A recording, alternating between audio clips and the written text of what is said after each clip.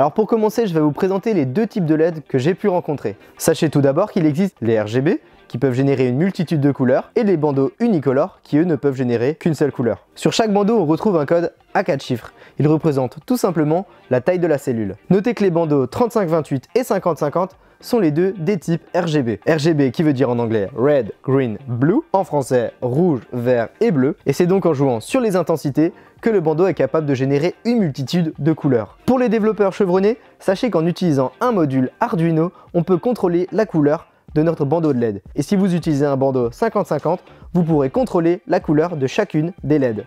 Et puis pour ce qui n'est pas du 35-28 ou du 50-50, ça devrait être en général un bandeau de couleur blanche plus ou moins chaude ou froide. Sachez qu'il existe également deux types de bandeaux de LED, à savoir les water resistant et les autres. Alors sur les water résistantes, il y a tout simplement une petite couche de silicone qui lui permettra de résister aux éclaboussures et donc, vous l'aurez compris, il est plus adapté aux endroits humides. Et puis pour les autres qui n'ont pas la couche de silicone, voilà, c'est tout.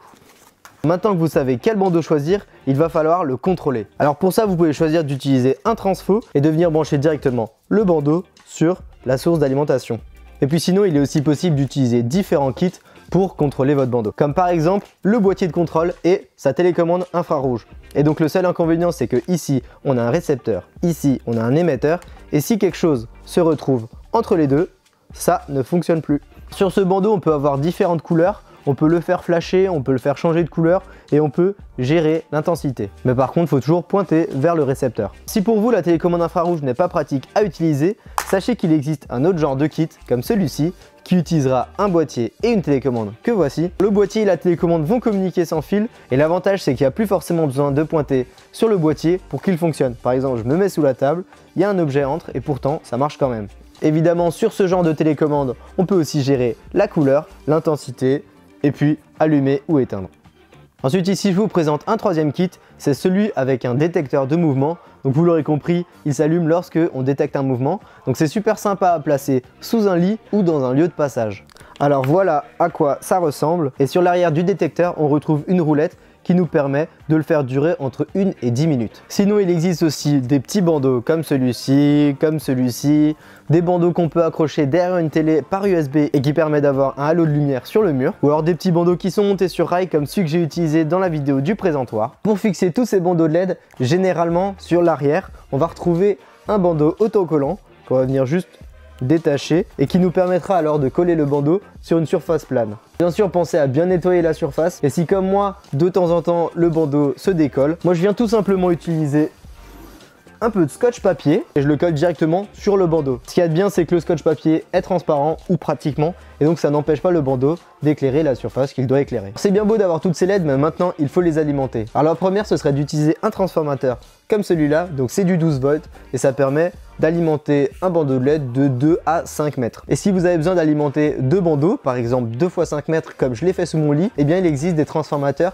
avec un plus grand ampérage qui eux permettent de bien alimenter les bandeaux. Et donc ce transformateur ressemble à ça, il est un peu plus gros mais il est bien plus puissant que celui-là. Et donc la deuxième solution que je vous propose c'est d'utiliser un transformateur comme celui-ci. La différence c'est qu'on n'aura pas besoin d'avoir une prise comme celui-là, il nous suffira de récupérer notre alimentation, brancher sur ce boîtier et de venir ensuite brancher notre LED sur la sortie du boîtier. Alors maintenant je vais vous parler d'une dernière chose qui est très importante, il s'agit de bien positionner votre bandeau de LED. Il y a quelques jours j'étais dans un bar et il y avait des bandeaux de LED un peu comme celui-là et il était super mal positionné.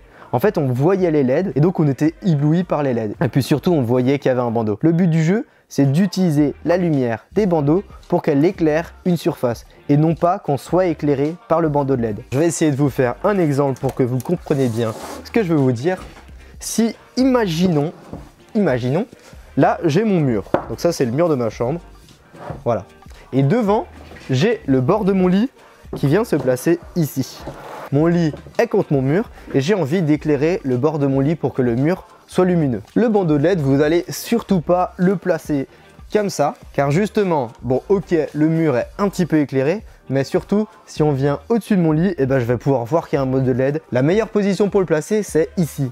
Vous allez le coller sur le bord du lit, juste ici. Alors là déjà, le mur est un peu mieux éclairé, et en plus, si je viens pratiquement au-dessus, je ne verrai pas le bandeau, et donc il faudra vraiment que je me penche derrière le lit pour le voir. Alors je vous en supplie, si déjà vous achetez des bandeaux de LED, prenez le temps de bien réfléchir pour qu'on ne les voit pas. Voilà, merci, j'ai froid. Alors voilà, j'espère que vous aurez appris plein de choses. Il y a un autre type de LED dont j'ai pas parlé. Il s'agit de toute la gamme Philips Hue. Alors un des avantages de cette gamme, c'est qu'on peut l'utiliser et le contrôler avec son smartphone. Mais par contre, ça coûte une blinde. Alors voilà pourquoi j'en ai pas parlé. Vous retrouverez tous les liens de tous les produits dans la description. Et si cette vidéo vous a plu, vous pouvez mettre un pouce bleu. Non franchement, moi je me les caille dans mon garage depuis avant. Vous pouvez au moins cliquer sur le bouton j'aime. Enfin que si ça vous a plu. Merci. Et puis si vous êtes nouveau sur ma chaîne, je vous dis bienvenue. Et si vous n'êtes pas abonné, eh ben vous pouvez vous abonner et comme ça vous louperez pas mes prochaines vidéos. Voilà, merci encore à tous d'être là. Merci pour tous vos commentaires, je les lis tous, ils me font vraiment chaud au cœur. Merci beaucoup. Et puis en attendant la prochaine vidéo, je vous dis bon bricolage et à la prochaine. Bye